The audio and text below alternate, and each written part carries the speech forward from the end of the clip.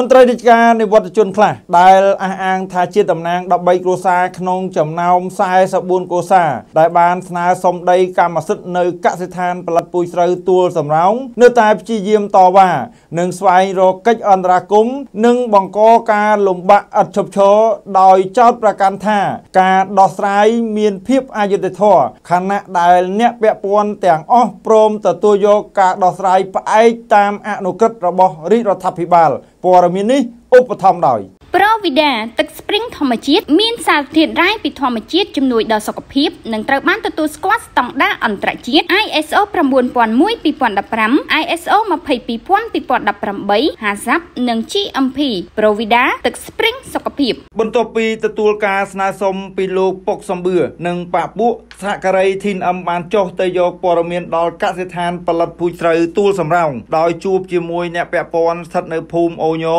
ឃុំបឹងព្រីងស្រុកថ្មគោលខេត្តបាត់ដំបង នៅថ្ងៃទី13ខែមេសាឆ្នាំ2022កន្លងទៅនឹងបានសិក្សាយ៉ាងល្អិតល្អន់បន្ថែមលើករណីនេះជាក់ស្ដែងឃើញថាការដោះស្រាយករណីនេះត្រូវបានធ្វើតាមរយៈគណៈកម្មការអន្តរក្រសួងនិងធ្វើការយ៉ាងប្រុងប្រយ័ត្ននិងការទទួលខុសត្រូវខ្ពស់បំផុតមុននឹងដាក់ស្នើសុំការសម្រេចដ៏ខ្ពង់ខ្ពស់ពីរាជរដ្ឋាភិបាលទោះបីមានការសម្រេចពីសម្ដេចតេជោយ៉ាងណាក៏ដោយក្រុមនេះនៅតែព្យាយាមពឹងអ្នកមានអំណាចដើម្បីអន្តរាគមន៍រហូតដល់មានការចុះផ្សាយព័ត៌មានមិនពិតលើកាសែតនិងបណ្ដាញសង្គមនានាទៀតផង ហើយជាការឆ្លើយតបភ្លាមភ្លាមក្រសួងកសិកម្មរុក្ខាប្រមាញ់និងនេសាទក៏បានចេញសេចក្តីប្រកាសព័ត៌មានជាសាធារណៈនាថ្ងៃទី27ខែវិច្ឆិកាឆ្នាំ2021កន្លងទៅផងដែរសូមបញ្ជាក់ថាក្នុងអំឡុងឆ្នាំ2017រដ្ឋមន្ត្រីក្រសួងកសិកម្មក៏បានសួរសុខទុក្ខនិងសំណេះសំណាលជាមួយមន្ត្រីរាជការនិវត្តជននិងប្រជាជនដែលអះអាងថាបានស្នាក់នៅក្នុងកសិដ្ឋាននេះតាំងពីឆ្នាំ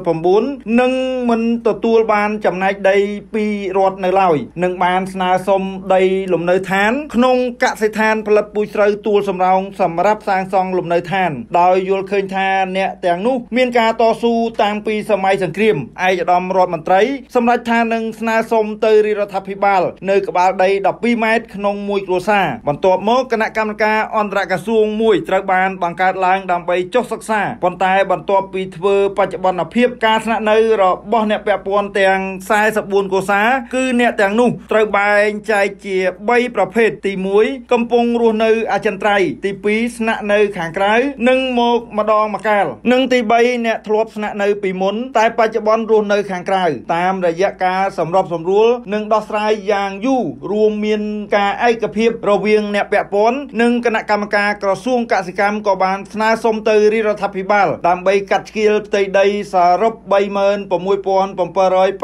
ម៉ែត្រការ៉េដើម្បីបែងចែកទៅគ្រួសារទាំង44នៅតាមប្រភេទនិងក្បាលដី9ម៉ែត្រ7ម៉ែត្រនិង5ម៉ែត្រដោយមានអនុក្រឹត្យស្តីពីការធ្វើអនុប្រយោគដើម្បីធ្វើប្រតិកម្មជូនមន្ត្រីរាជការនិវត្តជនដែលសម្ដេចតេជោចេញអនុក្រឹត្យស្តីពីការធ្វើអនុប្រយោគកាលពីថ្ងៃទី10ខែសីហាឆ្នាំ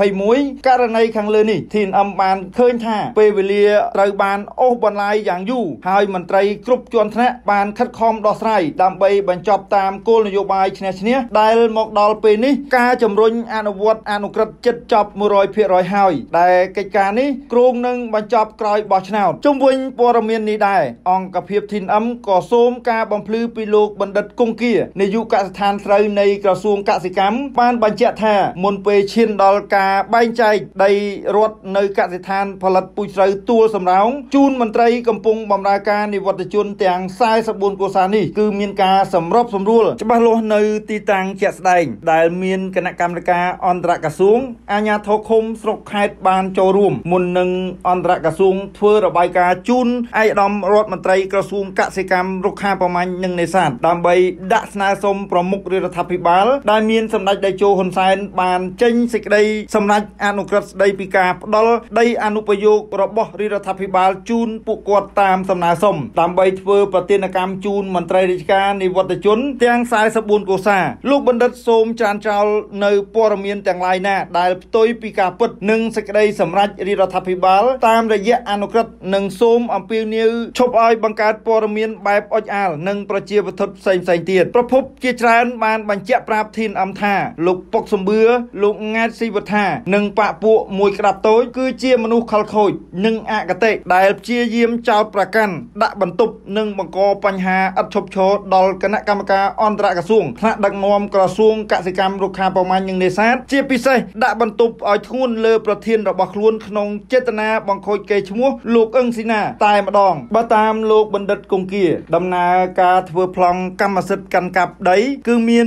42គ្រួសារបានផ្តិតមេដៃទទួលយកការដោះស្រាយរបស់រាជរដ្ឋាភិបាលនិងមានតែលោកពុកសំបឿនិងលោកង៉ែតស៊ីវថាប៉ុណ្ណោះដែលមិនព្រមទទួលយកនឹងមកបំពេញឯកសារនៅពេលចែកបានកម្មសិទ្ធិជូនអ្នកពាក់ព័ន្ធ TNM នឹងចូលរួមផ្សព្វផ្សាយបន្តទៀតពីខ្ញុំបាទកៅរដ្ឋា TNM ប្រូវីដាទឹកស្ព្រីងធម្មជាតិមានសារធាតុរ៉ែពីធម្មជាតិជំនួយដល់សុខភាពនិងត្រូវបានទទួលស្គាល់ស្តង់ដារអន្តរជាតិ ISO 9001:2015 ISO 22000:2018 HACCP និង GMP ប្រូវីដាទឹកស្ព្រីងសុខភាព